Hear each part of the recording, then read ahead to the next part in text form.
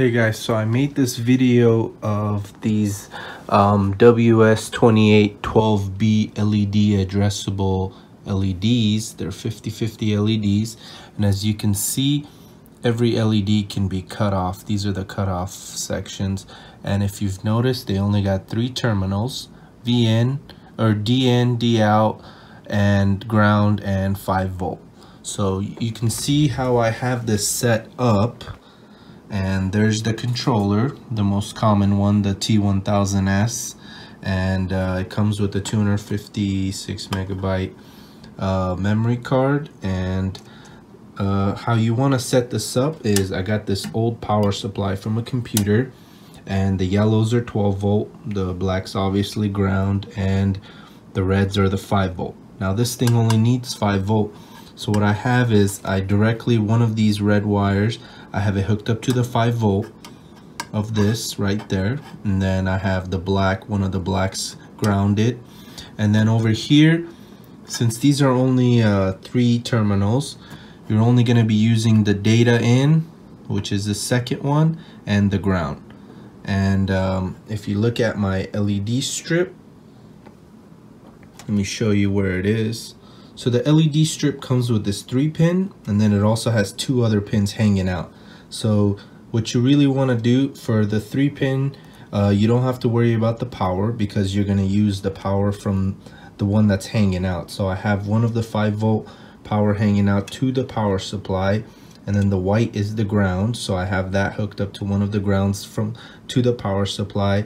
And then for the 3 pin all you have to worry about is make sure it is this side of the connection I don't know, I've tried the other side for some reason it doesn't work, but it makes sense because if you look at the arrows, they're all pointing out that way. So it makes sense that it's going this way and it has to, current has to flow out this way. So that's why you need this end of the LED. I have here is a five meter. So I have, um, and uh, I have 50 LEDs per segment and there's five.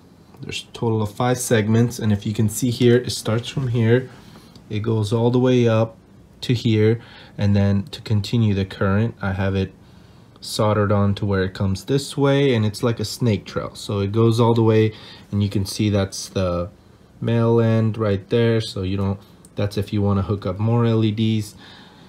So I have five hooked up and and and notice this right here because once I go over to the computer I'm going to show you the schematics. You want to set it up the same exact way. And uh, yeah that's all you need. These are the only things you need to hook up.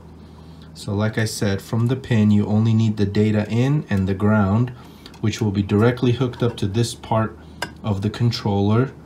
And the controller also needs power so I have the 5 volt hooked up to the power supply and the ground hooked up to the power supply. And that's all you need. Now we're going to go over to the computer side. So this is the program that you use, LED Edit 2014.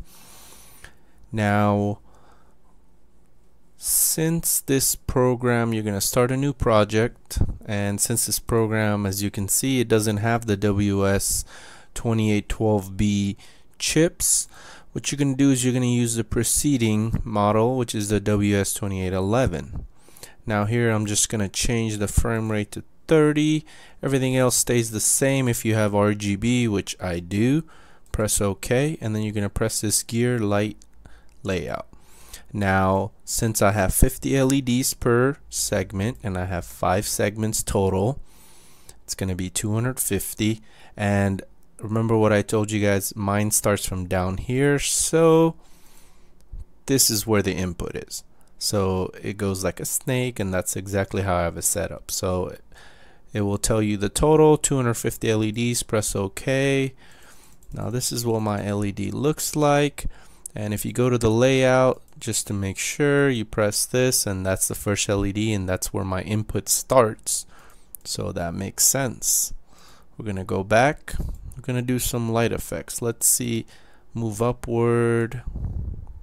Let's do um, passage. Let's and then you're going to press record and you can see the progress right there obviously the the higher the progress the more memory it takes so I'm gonna let it do three color changes and then I will stop it and then we're gonna do a different effect.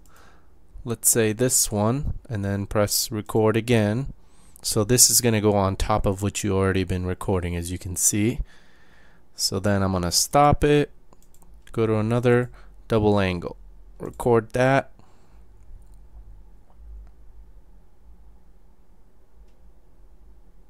And I'm gonna stop so then you're gonna just completely go to video close video effects so it'll stop that. And then this icon right here where it says export effect.led or you can go here and press. I keep everything the same. You can you can change the you can dim the lights and whatnot. I just keep everything the same. Press OK save it to my desktop and it saves.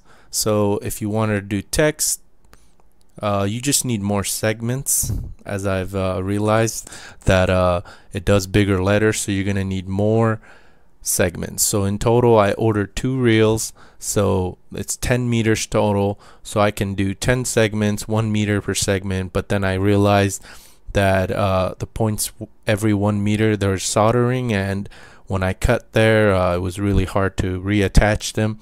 So what I did is I ordered the 5 meter 300 LED so it's 60 LEDs per 1 meter but um, I cut 10 of them off so now it's 50 per and you can open this panel. As you can see here you can write whatever change see you can change the font change this press OK now this determines where you are. Let's go let's change this to 8 as you can see it's more visible. You can do you can do it like that so it shows better but since this can't go any higher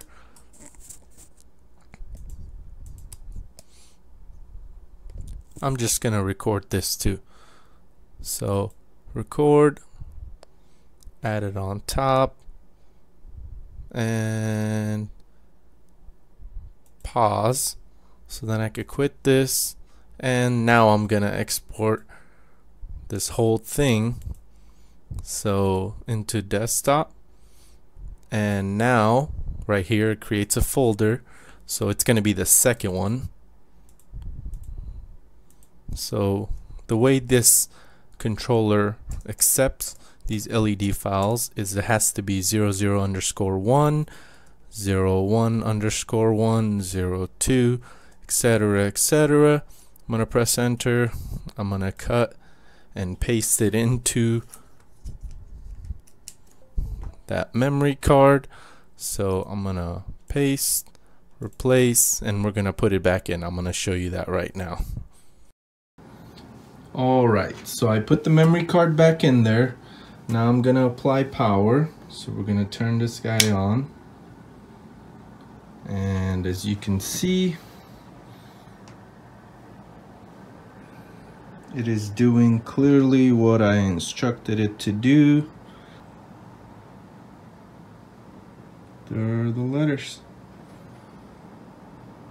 And you want to make sure that the input's correct you can change the colors but it doesn't really this right here the mode is for different LED files.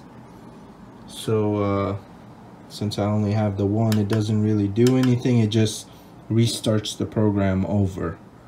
So once you have several you can press the mode and it's gonna switch between the two different ones. Hope this video was helpful and uh, I would really suggest that you buy 10 meters total and uh, you set up at least 10 segments so that if you do do letters then you can see the letters